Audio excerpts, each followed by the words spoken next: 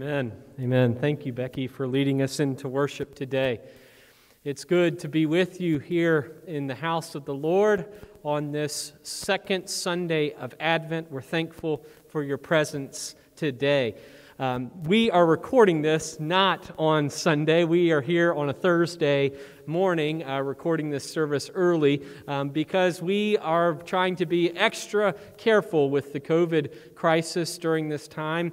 Um, and so we hope that wherever you are today, that you uh, are experiencing the, the peace of Advent. And we'll talk a little bit more about that throughout our time together today.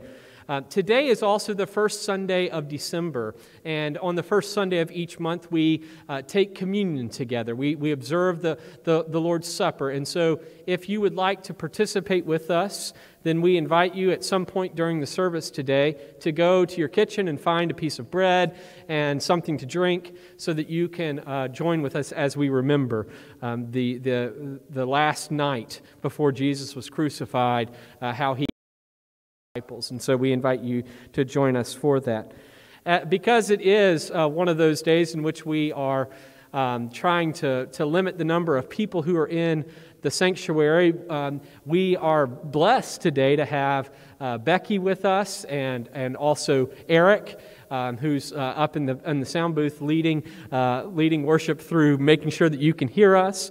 Mitten is, is leading the camera for the most part, but he's also here to uh, lead us in our call to worship. And Mary Lee Inneberg will read our scripture here uh, in, a, in a moment. But as we continue in worship today, we invite you to, to worship with us and to join us in our call to worship and our Advent reading, which Mitten will come and lead us in now. Thank you, Mitten.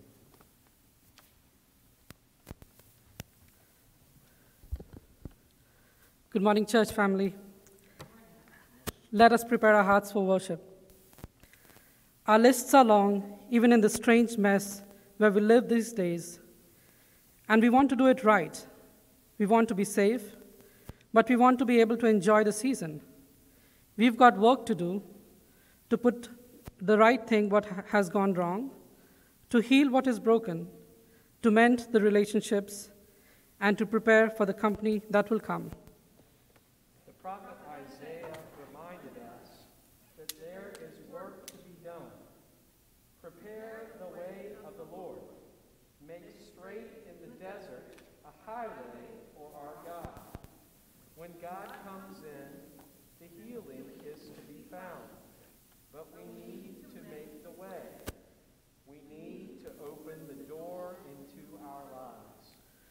So, we light these candles as a sign of our faith that the God we worship is not far from us, and that we can clear the way for God to come and dwell within us.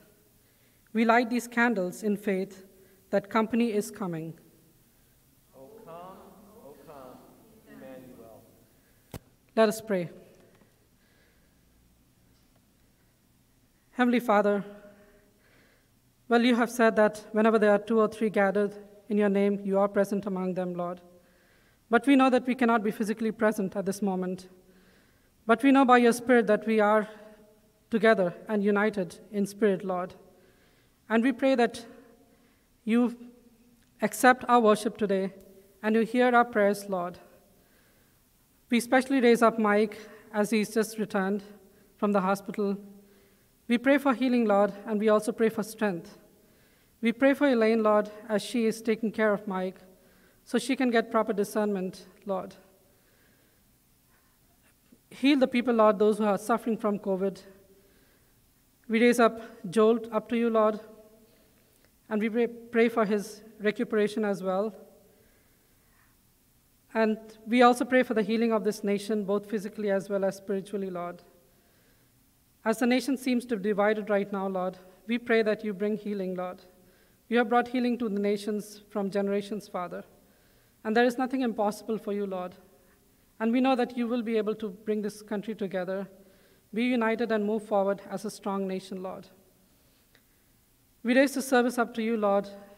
Accept our praise and our worships, Father. And we pray for Pastor David John. We pray that he is led by your Spirit to bring us this message that will Speak to us in a way that we want to hear the message today, Lord, that it may serve us according to the situations that we are in, Father. We pray that you be with us through this service and ask this prayer in Jesus' name. Amen.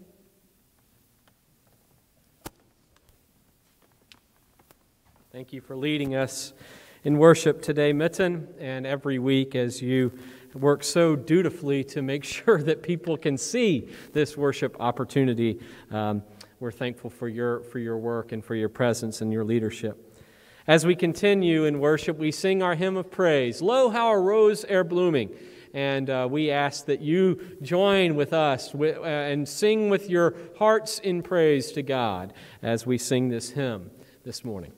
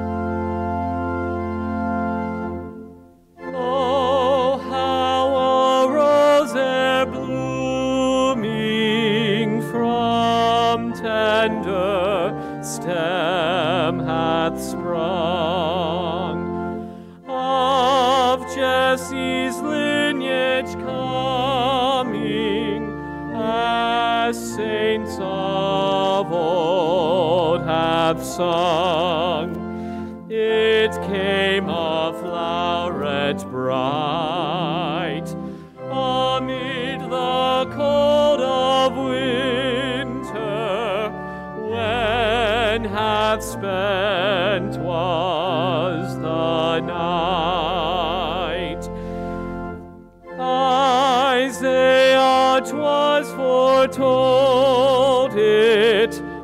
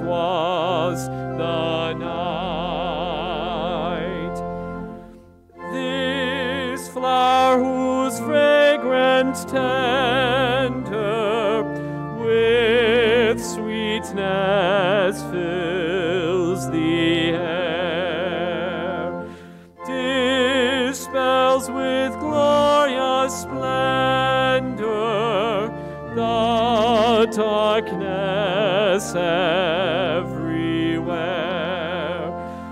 True man, yet very God. From sin and death he saves us and lightens every Lord.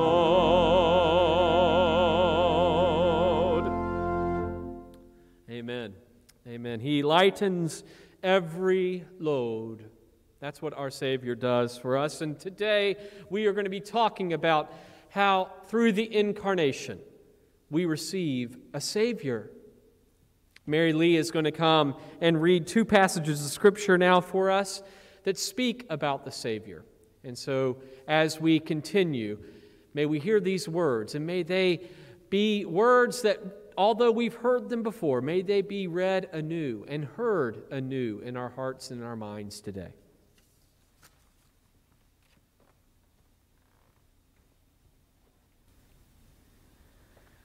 Our first reading is from the book of Matthew, chapter 1, verses 20 through 21.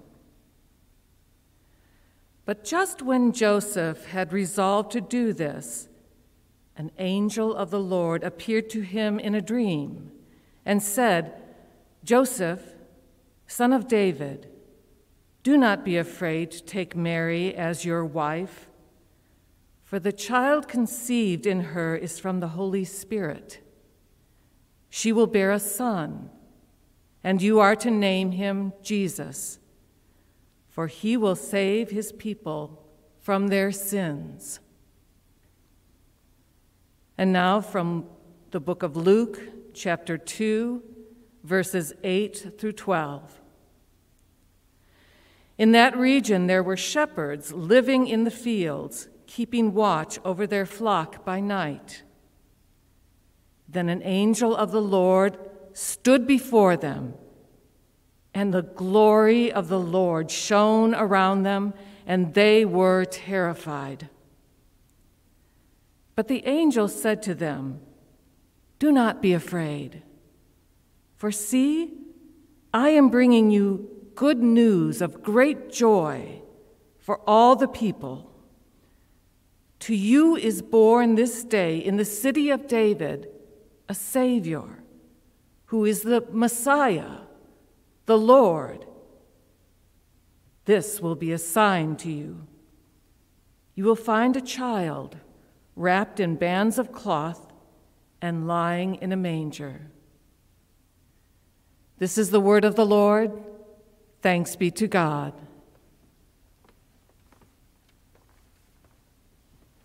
Thank you for reading, Mary Lee. Let us go to God in prayer.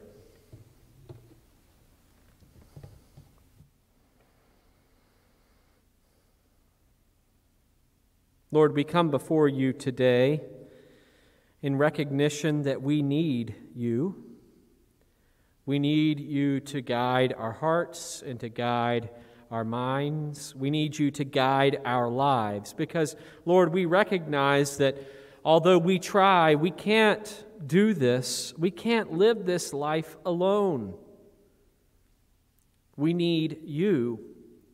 We need each other. And yes, Lord, we need a Savior. Thankfully, Lord, we know that our Savior has come. Our Savior has come to the world. And this Savior is able to heal us and to restore us. But Lord, oftentimes we forget that. Sometimes we deny it. Maybe we don't deny it with our lips, maybe we don't say it out loud, but we deny that Jesus can actually save us, heal us Help us. And so, Lord, we seek you this day. On the second Sunday of Advent, as we worship together, as we think and about the coming of the Christ child yet again into our hearts and into our lives, we know, Lord, that there are so many things that we can be doing for your kingdom. But, Lord, the first thing we have to do is bring our burdens to you and allow you to shoulder them. Because you remind us that your yoke is easy and your burden is light. Therefore, we should come and bring our burdens to you. So help us, Lord. Help us not to be too proud to seek your help. We're thankful for the ways in which you have taught us to live and to love. And we're thankful for the way in which you taught us to pray when you said, Our Father, who art in heaven, Hallowed be thy name, thy kingdom come, thy will be done on earth as it is in heaven. Give us this day our daily bread, and forgive us our debts as we forgive our debtors. And lead us not into temptation, but deliver us from evil. For thine is the kingdom, the power, and the glory, forever and ever. Amen. Last Sunday, we began our conversation about the incarnation of Jesus. And we discussed how the person of Jesus fulfills this Davidic covenant, this promise that God had between God and David, that, that God would use the lineage of David to usher in a kingdom of which there would be no end. God would send a Messiah to God's people. Yet, the Messiah the people received was not what they expected. The king was focused on peace and justice, righteousness, and lifting up the downtrodden. This Messiah was focused on the kingdom of God rather than the kingdom of now. This is obviously a major reason for the incarnation of God to introduce a new way of living Yet the incarnation is more than that. Because of the incarnation, we also receive a Savior. In the passage that Mary Lee read from Matthew, Joseph, uh, Mary's betrothed, is, con- is confronted by an angel. This angel is Gabriel who shares with Joseph the news of Mary's pregnancy, saying, Joseph, do not be afraid to fulfill your commitment to Mary. She is doing the Lord's work and has conceived a child from the Holy Spirit. His name shall be Jesus, and he will save his people, God's people, from their sins. Now, I imagine that this news was hard for Joseph to comprehend for a number of reasons. One, he was in the presence of an angel. And what do we find every time that we see an angel in the New Testament? What do they say? Do not be afraid. They must have been pretty scary looking figures. The second thing is that his betrothed wife was going to bear a child that was not his. Imagine that. Imagine that someone comes and tells you that your wife, the one that is betrothed to you, is going to have a child, but that child is not yours. Then this, this angel tells him that the child would be conceived by the Holy Spirit. What? It's hard to imagine. And finally, this child would save people from their sins. Yet Joseph, he hears the word of this angel and fulfills his commitment to Mary. He marries her, he supports her, he takes her to Bethlehem for the census, and when the child is born, he calls him Jesus. And this name, Jesus, which we call our Lord, is an anglicized version of a Greek name. But Jesus actually derives from the Hebrew. The word, the, the name for Jesus actually comes from Hebrew, and that word, that name is Yeshua. And Yeshua derives from the words Yahweh, meaning God, and the word Yasha, which means to deliver, or to save. Therefore, the name Yeshua, Jesus, literally means God delivers or God saves. But what did the people need to be delivered from?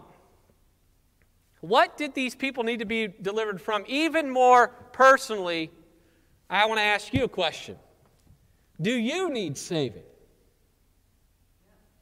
As modern day Christians, we like to ask the question, Are you saved? But what does that mean? Well, people use the word saved in a variety of ways. For some, it can mean that someone has professed faith in Christ. It can mean that someone has been or is going to be baptized. It can mean that someone is confident in their eternal security in heaven. It can mean that someone is not going to hell. But what does it mean for Jesus to save us? Well, if we use the Bible as our guide, we find that the New Testament also uses the word saving for a variety of situations. Infirmed people are healed of their limitations. Hopeless people are delivered from their despair. The disciples are saved from impending death on a boat, and people are forgiven of their transgressions. So, through the incarnation of God, Jesus, God saves or delivers. God comes to address all of the needs which hold people back from fulfilling God's intentions for their lives. Sometimes the stumbling blocks are caused by their disobedience or our disobedience. And sometimes the stumbling blocks are just there. They're just there. Yet, in both situations, we are in need of a Savior to help guide us. One of the great challenges for the 21st century church is to see our Savior as one who has come not only to save us from our sins, but also to deliver us from the things we cannot control. Adam Hamilton, a Methodist pastor in Kansas, says, For some people, it feels like sin is the only thing they ever hear about in church. He says, I want to be clear.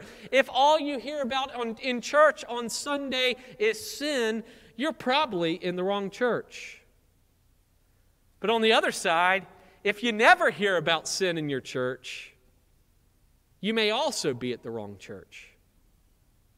Because the good news of Jesus is not that we are sinners, but that He is our Savior. Let me repeat that for you. The good news of Jesus is not that we are sinners, but that He is our Savior. We all struggle, you and I, with sin in our lives. This is a fundamental part of who we are, and we miss the mark. The, the word sin in Greek is hamartia, which means to miss the mark or to stray from the path. And as a result, when we miss the mark, we feel that guilt and shame, and we begin to see ourselves as unworthy of God's forgiveness or of forgiveness from others. And so, what do we do? Slowly, slowly, we begin to fade away into the shadows, hoping to escape the suffering. It's in these moments that we need to lean on our Savior, the one who has been sent to help us, to save us, to deliver us from the bondage of shame and redeem us, restore us, reconcile us, justify us, and to forgive us, to walk in newness of life. It's this grace of God which can cover all of our shame and help us to move forward as children of God. But I must admit that grace that is offered to us comes at a cost. It requires an act of sacrificial love by our Savior. In his book, uh, Costly Discipleship, Dietrich Bonhoeffer says, Grace is costly because it calls us to follow. And it is grace because it calls us to follow Jesus Christ. It is costly because it costs a man his life, and it is grace because it gives a man the only true life. It is costly because it condemns sin. And grace because it justifies the sinner. Above all, it is costly because it cost God the life of his Son. You were bought at a price. And what has cost God much cannot be cheap for us. Above all, it is grace because God did not reckon his Son too dear a price to pay for our life but delivered him up for us. Costly grace, Bonhoeffer says, is the incarnation of God. We need, you and I, to be saved from our sinfulness. And Jesus, God incarnate, delivers us from our sinfulness. We need to remember that. That because of the incarnation, we receive a Savior who is able to deliver us from our sin. Yet that's not the only thing that He delivers us from. As we, in, as we mentioned earlier, our Savior also delivers us from hopelessness and despair. Well, what does that mean? I don't know about you, but there have been times in my life when I felt pretty down, pretty out. Times when I've been so discouraged that I didn't know where to turn. Now, thankfully, I have to admit, those times have been few and far between, but they've been there. And I'm sure you've had those moments too. But in each of those dark moments, we've been reminded, I've been reminded, of the love of God for me. Sisters and brothers in Christ, the Savior of the world, God incarnate, loves you.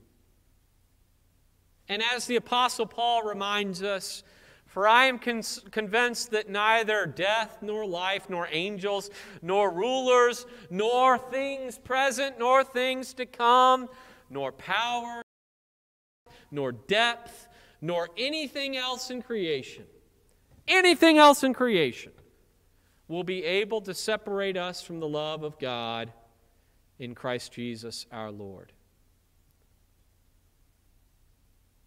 This love is unconditional, unending, and it will never let us go. Nothing can stop that. Nothing can stop that love, not even death itself. In this hellacious year that we've experienced, 1.5 million people around our world have died from a pandemic that no one ever expected or anticipated. Countless people have died because of violent acts Unspeakable tragedies have occurred. We think about the fires in Australia, fires out west, the hurricanes. There have been so many things that have happened this year, and, and every time we turn, something else bad happens. And I don't know about you, but there are times at which I've wondered if the incarnate God can deliver us once again. But, brothers and sisters, I'm here to remind you that if you're struggling with that idea right now, let me remind you that our Savior has overcome every challenge put in His way. Every challenge put in His way. Even death itself. And so, brothers and sisters, we may be discouraged. We may feel down and out. But I can tell you this much because He lives, I can face tomorrow. Because He lives, all fear is gone. Because I know He holds the future, He lives within my heart. The incarnation of Christ sends us a king, a Messiah, and it sends us a Savior. will you allow the incarnate God to save you today from whatever is holding you back? Whether it be something, some transgression that you've had that's been gnawing at you for your entire life or for years and years, are you, allow, are you w- willing to, to give that burden over, over to God? If you are, let me tell you, you are forgiven. You are forgiven. Your sin is wiped out. The slate is clean because of who our Savior is. Maybe it's because you're feeling down and out. Maybe it's because you've lost your job or you're worried about losing your job. Maybe it's because you don't know where to turn because all the things that are going wrong in our world. Let me tell you Jesus, God saves, God delivers, will deliver you too. Nothing can separate us from the love of God which is found in Christ Jesus our Lord. And so today, brothers and sisters, may we believe that. May we cling to that. And may we seek the Savior who is able to heal us and deliver us from all things in our life. Amen. Amen. I mentioned to you at the beginning of our service that we are going to gather for communion now. And as we prepare ourselves for the table, I invite you to go and get your elements if you haven't already done so. But we'll also sing a hymn that prepares us for the table. It's to the tune of Oh Waly Waly. It's new words, though. And so as we gather around the table of the Lord, let us sing these words as we prepare.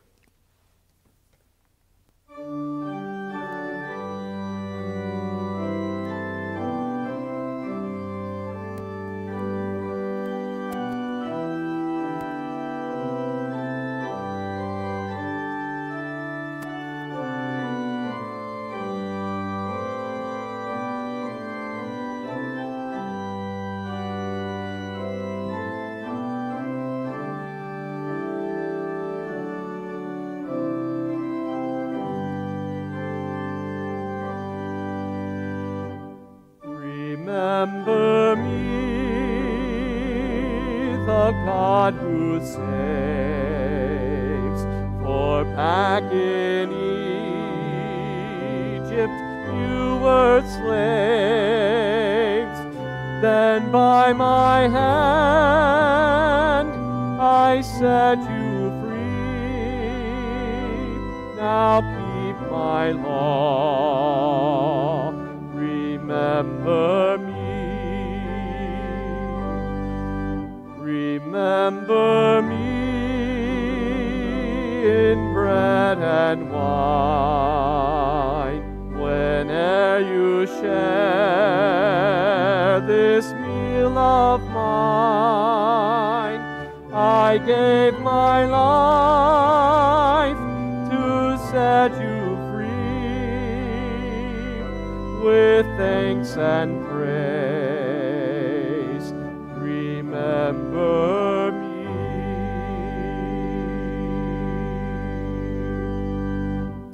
Amen. Brothers and sisters, we come to this table now. This table that was set for us by our Savior, even Jesus Christ our Lord. This table was set years and years ago in an upper room in Jerusalem during the week of the Passover, where Jesus gathered with his disciples on the night before he was crucified. He had, was preparing to be betrayed by one of his disciples, one of his beloved disciples. And he gathered with them up in this room. They ate a meal together. He washed their feet. And after they had eaten the meal, Jesus uh, just paused for a moment. He took some bread and he broke it in half and he said, This is my body, which is for you. And he passed it around to his disciples, and they ate. Then, after they had done that, he took a common cup of wine and he lifted it up towards heaven and he said, This cup represents a new covenant which is in my blood. Do it as often as you drink it in remembrance of me.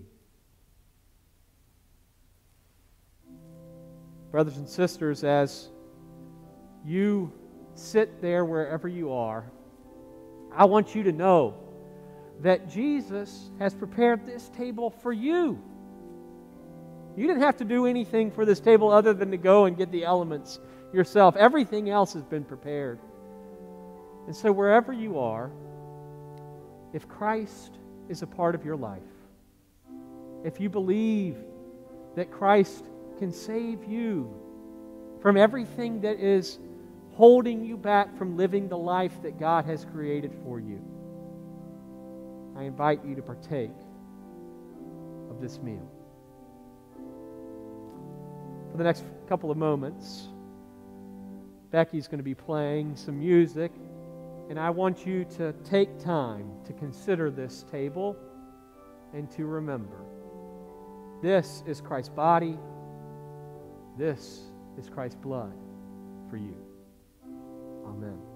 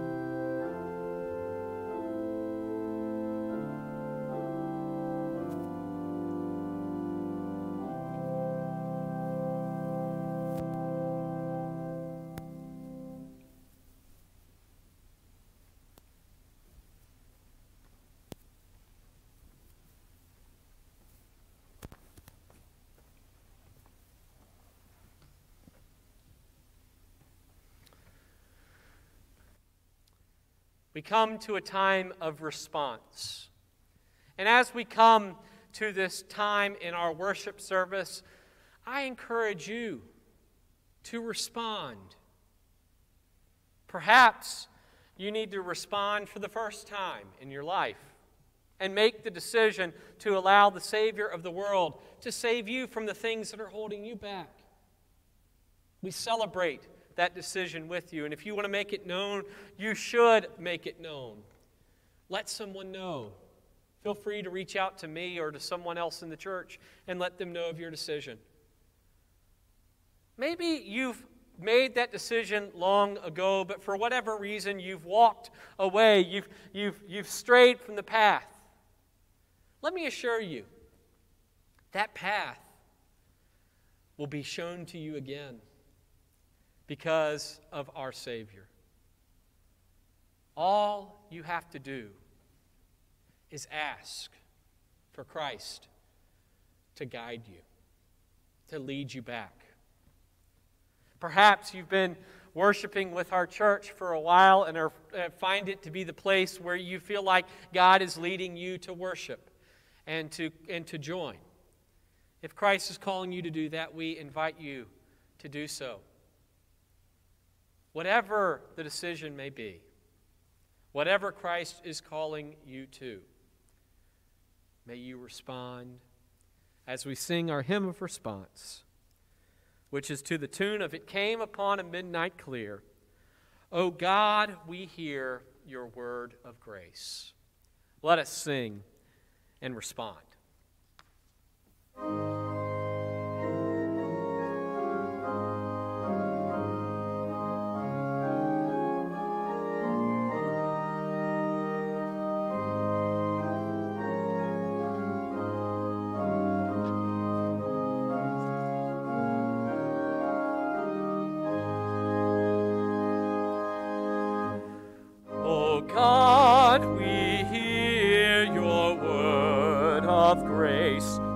The psalmist tells us this that love with faith will soon embrace, and peace and justice kiss.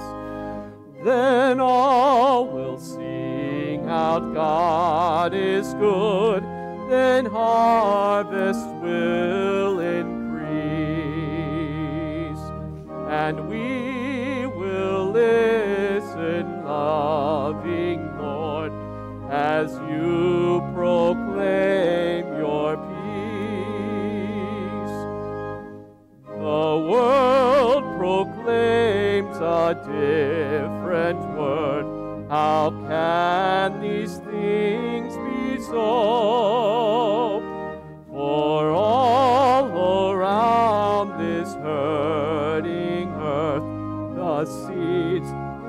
discord grow.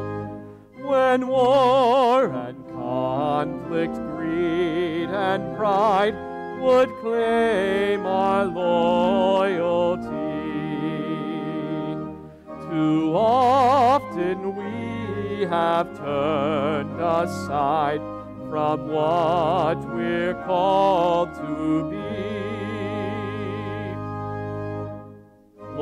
show us what we're called to as we await your day.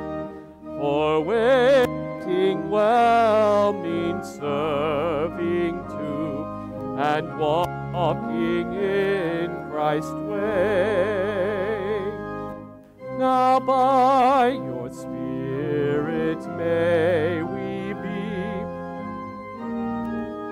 birds of peace. Grace and justice both shall meet, and love and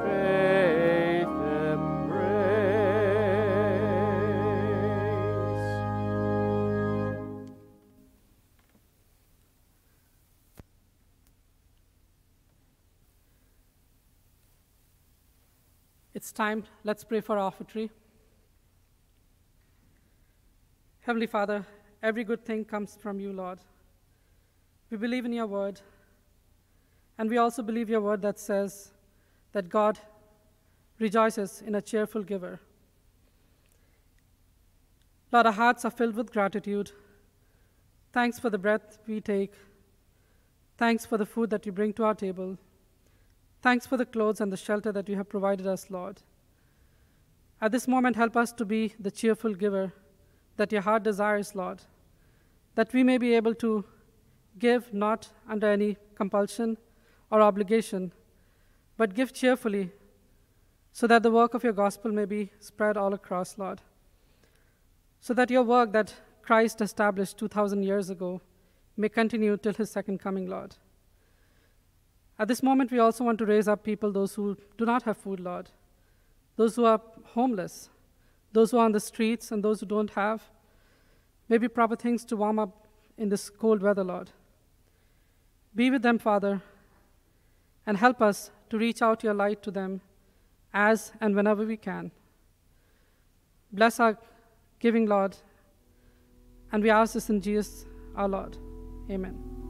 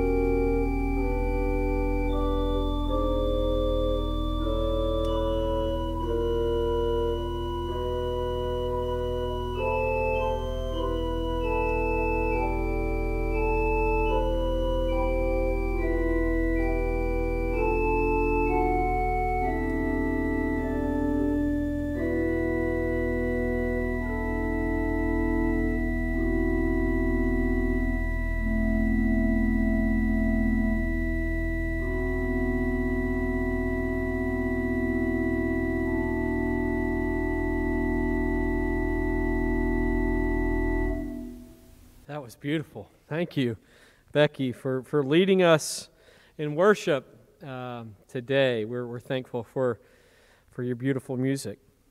As we come to the conclusion of our service, I have a few announcements I'd like to share with you. First, uh, today we will, or I guess on Sunday, uh, we will gather for Sunday school, and we're going to meet at 11:45 because uh, we we don't have to break down everything and turn off all the lights and everything up here. So we'll meet at 11:45 for Sunday school, and you can join us uh, by going on our website and clicking on the Zoom link for uh, study together online. We also have our Tuesday night um, uh, discussion on the incarnation. If you'd like to join us for that, you're welcome to do so. Uh, there are a couple of other announcements. It's not too late to order a poinsettia or a poinsettia. Um, and so those will be delivered to your door. They're $20 each. And if you'd like to order one, you need to get your email or you need to get in your order as quickly as possible uh, because we want to uh, deliver those to you on the 13th, which is next Sunday. And so if you'd like to get the, a poinsettia, please, please let us know by Tuesday. Uh, Tuesday would be great, uh, Tuesday the 8th. And so we hope that you will um, participate in that. We also want to give thanks for the wreaths that are on the outside doors. Those were given by Karen Borgstad. And so we, uh, we thank Karen for her gift, and uh, we, we are uh, enjoying putting out the Christmas spirit in the community. If you drive by the church and you see a, a, a stable, we're not bringing Journey to Bethlehem back this year, but we are putting this stable out, and we're going to put a manger out so that people can remember what this season is all about. And so, if you and your family want to come to the church and, and stand around the stable and consider uh, you know, what we're celebrating this year, we invite you to do so. Try not to do it uh, with a lot of other people, but if you want to come with your family and do that, it should be a safe way for you to celebrate this season. And uh, we look forward to ways in which we will continue to, to, to change that stable throughout the, the Advent time. I want to thank Eric Hogan for his hard work putting that together and, uh, and for the opportunity that people have to come and, and to worship the King in the stable. I believe that's all of the announcements that I have for today. It's been a, a good day to join with you, and we're thankful for your presence. Continue to keep those uh, in your prayers, the people who are suffering from this illness. Uh, as of yesterday, we had the highest death toll in one day uh, throughout the entire pandemic. And uh, I, I, as I mentioned to our folks on Tuesday night during the discussion, I don't normally tell you things that you have to do. Um, and I, am not a doctor, but I can tell you this much this is a serious, serious illness. People are dying one person per minute in the United States. We have a responsibility, you and I, to do everything in our power to keep people safe. And how do I know that? Because Jesus tells us what are the two greatest commandments? To love God with everything you got and to love your neighbor as yourself. And so, if you love yourself, love your neighbor enough to put on a mask, be safe, and to, and to do things wisely. As we continue through this time, may we remember that our Savior calls us to be the people of deliverance, to share that we have been delivered from the things that have held us back in our past so that we can walk in newness of life and that they can too. And so, brothers and sisters, go be a delivered person. Your sins have been forgiven, the slate has been wiped clean. You are a child of God. Go and live as a child of God today and every day. Amen. Becky's going to lead us out in our with a postlude. We look forward to gathering again with you next Sunday. Be safe until then and take care.